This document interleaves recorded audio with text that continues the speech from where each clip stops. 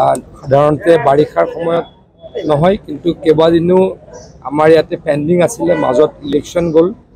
কেইবাবাৰো নলবাৰীত আমাৰ ডেট পষ্টপন হৈছিলে গতিকে মাননীয় মুখ্যমন্ত্ৰী ডাঙৰীয়াই সিদ্ধান্ত ল'লে যে আজি নলবাৰীত কেবিনেট হ'ব।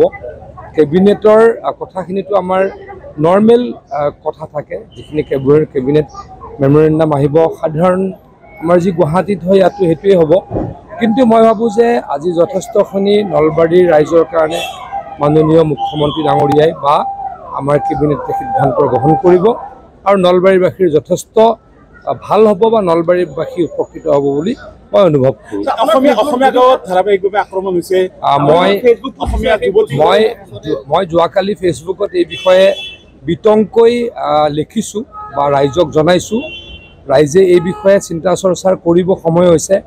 ধাৰাবাহিকভাৱে অসমীয়া মানুহৰ ওপৰত এটা বিশেষ সম্প্ৰদায়ৰ ব্যক্তিসকলে আক্ৰমণ কৰিছে বা অসমীয়া অসমীয়াক বা খিলঞ্জীয়াক আক্ৰমণৰ লক্ষ্য কৰি লৈছে ভাৰতীয়ক আক্ৰমণৰ লক্ষ্য কৰি লৈছে এয়া আমাৰ কাৰণে অশনি সংকট।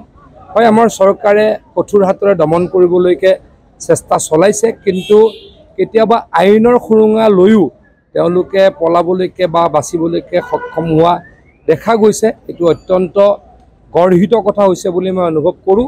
কিন্তু আমি চৰকাৰে বা আমাৰ প্ৰশাসনে এই ক্ষেত্ৰত নিশ্চয়কৈ কঠোৰ হ'ব আৰু কঠোৰ হ'ব।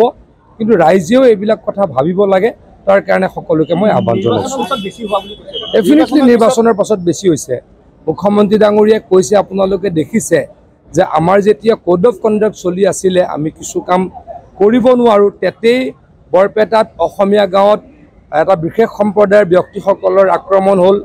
ধুবুৰীত কোচ কোচ ৰাজবংশীসকলৰ ওপৰত সেই বিশেষ সম্প্ৰদায়টোৰ আক্ৰমণ হ'ল।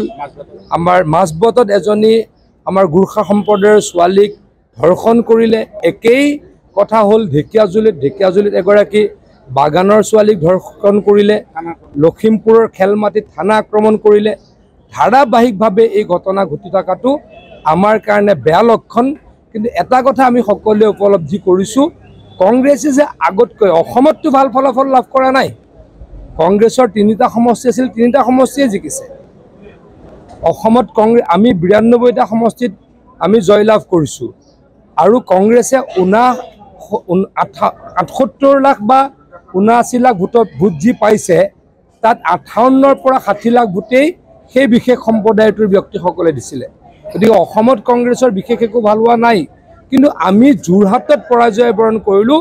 তাৰ কাৰণে এই বিশেষ সম্প্ৰদায়ৰ ব্যক্তিসকলে ভাবে যে কংগ্ৰেছ দল আকৌ শাসনলৈকে আহিব।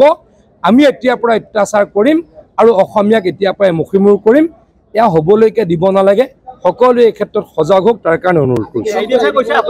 কেবিনেটততো পলিটিকেল কথা আলোচনা নহয়। পশ্চিমবংগৰ লেখীয়া হৈছে নেকি আচলতে চাওক অসমত বেয়া পৰিৱেশ হৈছে। পৰিৱেশ কৰিবলৈ বিচাৰি আছে।